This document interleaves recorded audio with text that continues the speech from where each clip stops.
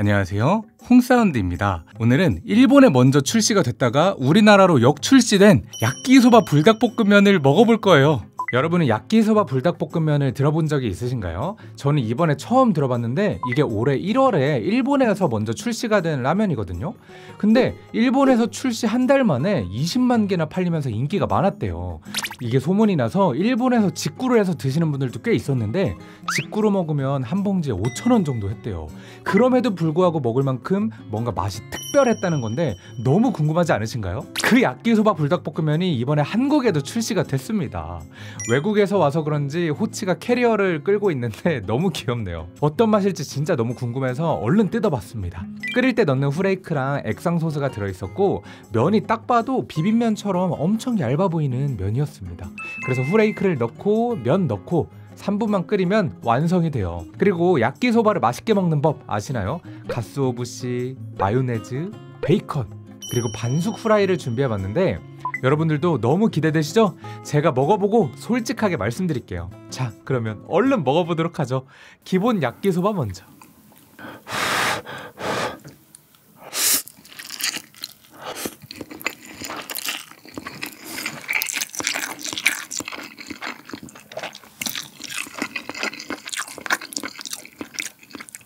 어, 뭐 생각했던 맛이랑 되게 다르네. 한 입 더 먹어볼게요.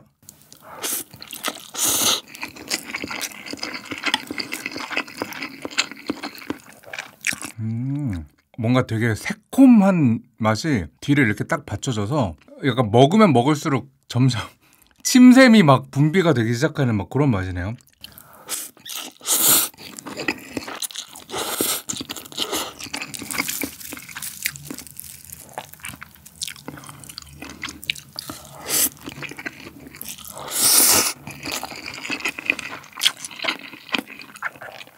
잘 어울린다. 진짜 잘 어울려. 이건 가스오부시다. 이야.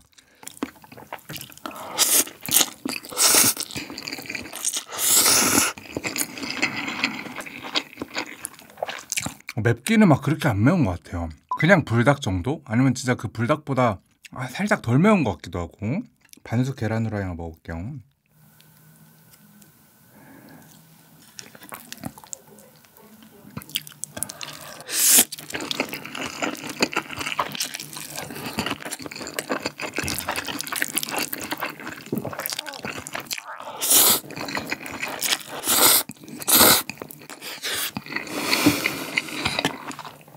미쳤다 이거다 이거. 와 진짜 잘 어울려요. 진짜 반숙 계란 후라이랑 꼭 드세요 꼭와. 아니 여기 야끼소바에 약간 일본 느낌 나는 간장향 있잖아요. 그런 간장향에다가 매콤한데 여기에 반숙 계란 후라이의 고소함이 같이 막 어우러지니까 뭔가 이 매운맛이 살짝 부드러워지면서 고소한데 일본식 간장 느낌도 같이 나고 해서 어, 너무 맛있어요 진짜. 퍼펙트 진짜. 와 이거는 반숙 계란이랑 해먹기 위해서라도 또 먹을 각입니다 이거는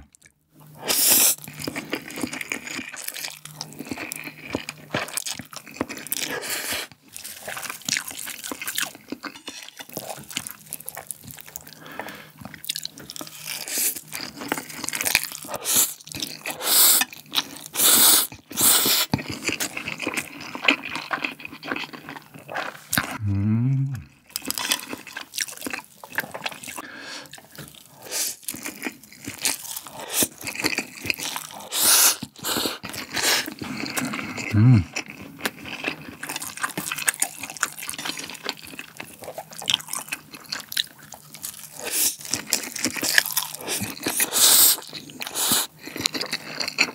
음.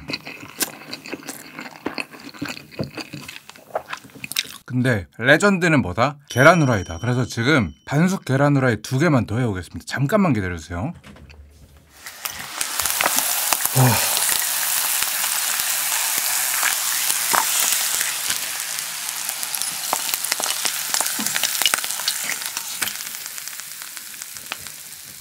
좀 전에 그 계란 후라이 소리 들어나요? 진짜 너무 맛있을 것 같지 않아요? 와. 자, 이렇게 딱 집었습니다 면.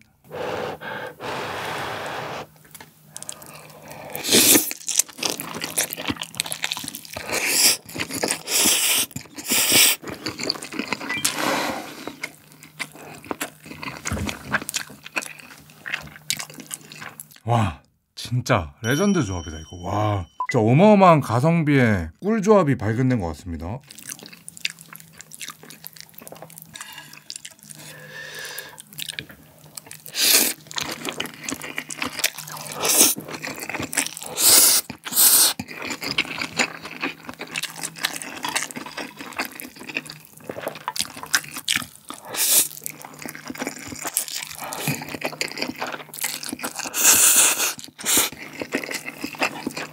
음.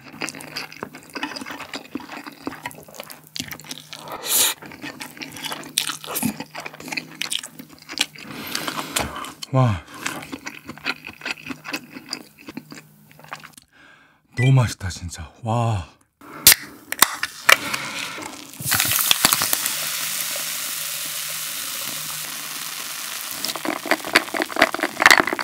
짠!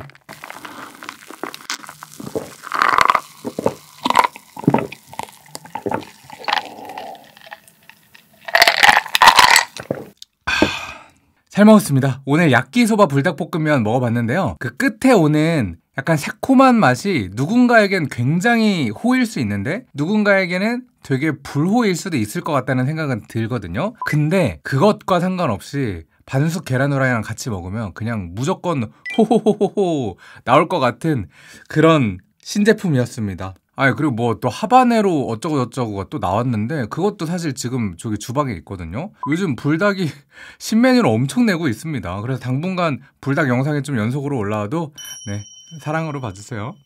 오늘 영상도 맛있고 재밌게 보셨다면 좋아요와 구독, 알림 설정 부탁드립니다. 그러면 오늘의 마무리송 들으러 가시죠. 맛있게 싹 비웠지 일본에서 귀국할 만큼 맛있네. 반죽대랑 후라이의 조합은 살면서 꼭 먹어봐야 돼. 사운드.